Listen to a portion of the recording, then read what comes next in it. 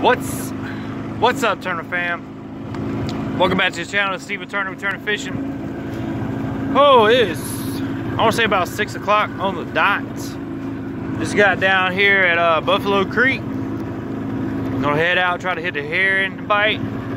If that don't pan out, we'll go to the back of Buffalo Creek, see if we can't crank one on a frog. And then uh, as it gets hot, we're gonna go look for some deeper points, throw a 10XD or something, throw a big swim bait, well, big swim bait in my case, maybe a little swim bait in your case. Either way, today's supposed to be beautiful, clear, calm for a while. Then the wind picks up just a little bit, but it should be crazy day for fishing, I hope. Hopefully we can catch a launch. I'm gonna head up late. We're gonna go hit up the, the islands real quick. And I'll try to explain more about how to target schooling fish or how to look for schooling fish or, you know, the areas that they like to get to, target in this time of year. So I'm gonna head up there, get my line wet, catch the donkey. Let's get it. And if you're new to the channel and enjoy bass fishing, or you know somebody that enjoys bass fishing, share this video with them. And if you could, hit the little red button down below. It'd mean a lot to me, my family, and my dog Rex.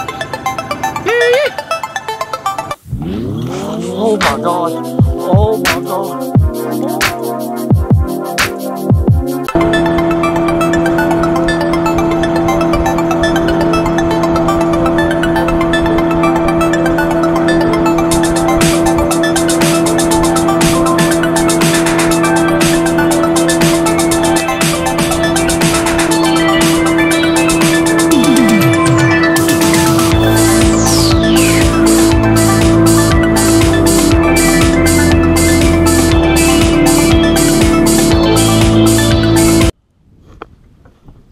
All right, guys, we just got here.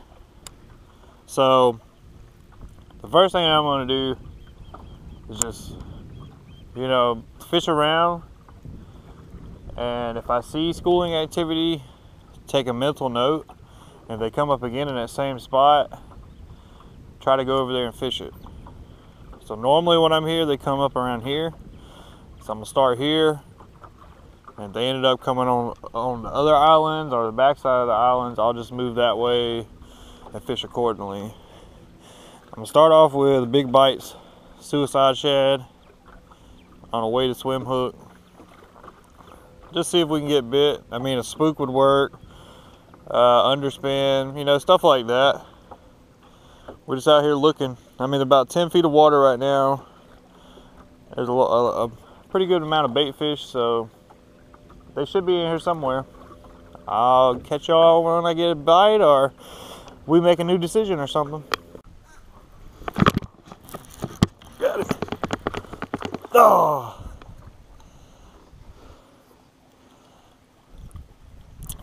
Finally, got a bite. It's about nine o'clock. I've been fishing this point out here. Just, there's fish on the graph, but like, they're not hitting the fluke. They're not hitting the top water.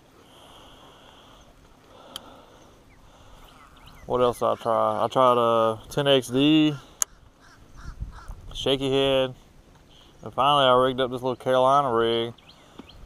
I was coming over here to this point over here. Thought, well, I might as well throw at this dock, and there was a fish there. Wasn't a keeper, but it's progress, and I got to jerk on my new Blue Max, so that's cool.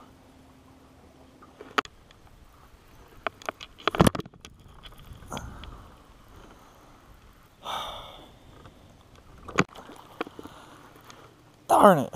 I didn't get my camera on in time. Well, that's the second one on the Carolina rig. Look at this, guys. Don't ever be leaving no comments, fish offshore. Look, look, I'm offshore, got bite. Didn't turn the camera on because I was sitting down drinking my drink. And I didn't get a good hook set. He wasn't but about a pound, so, you know, all them comments, go offshore, you catch bigger fish we gonna find out today. No, I'm just kidding. I'm actually kind of having a pretty good time. Carolina rig is kind of relaxing. Cause like when I Texas rig, I do it. Like you know when I'm Texas rigging, I'm I'm a power Texas rig. I don't even know if that's a thing, but that's me. But I mean that's one bite. We're out here fishing the shoal right now. So there's a dog over there doing something. Anyways, hopefully I can get another bite. yes! Caught him winding in. 15 foot of water. Going deep for the big ones, guys.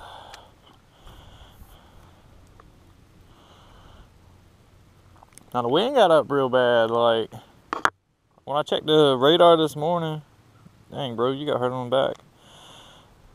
Freaking tail bigger than his whole body. but uh, now the wind getting up really bad. When I checked it this morning, it wasn't supposed to blow but like five at max. And it ain't but 10:30. So. I don't know, it's probably just blowing like these clouds through or something. Oh. I don't know if he was suspended or I didn't give him enough time. This is a pretty deep point that runs out right here. It's rocky. There's a brush pile over there. That is out of the wind. So it kind of helps me out right now. But I mean, I'll take those bites today. I, I'm, I'm honestly like the more comfortable I get like doing a certain technique like that's probably one of the first bass that actually went into the boat on a Carolina rig. Like I mean I've used the Carolina rig for like cat fishing and striper fishing stuff like that but not just dragging uh, bait on the bottom wanting a bass to bite. So any catches really that's about the same size I've caught all day. But like I said, the more confidence I get, the more I can get out here and actually find these fish. Guys, woo, it got hot. Oh man, it's about 3 p.m. So we fished for a good eight and a half hours, three fish. I'm not happy with it, guys. I am not happy with it. It's time to go home, give me something to eat, grill some hamburgers, you know give, give, give, give him a grub on, you know, you know. Yeah, yeah. Look at that copyright YouTube music in the background. It'd be alright, because I ain't even monetized yet. Anyway, guys, look, I need y'all's help. Like, if anybody wants to take me fishing, like in your boat, you know, I, I want to learn this offshore thing. I do. Leave a comment down below. Hit me up on Instagram we'll, we'll work things out. I get off at 2.30 during the week. You know, on the weekends, we can work something out. But I, I want to learn this offshore, uh, offshore bite that isn't the herring spawn. So hit me up, guys.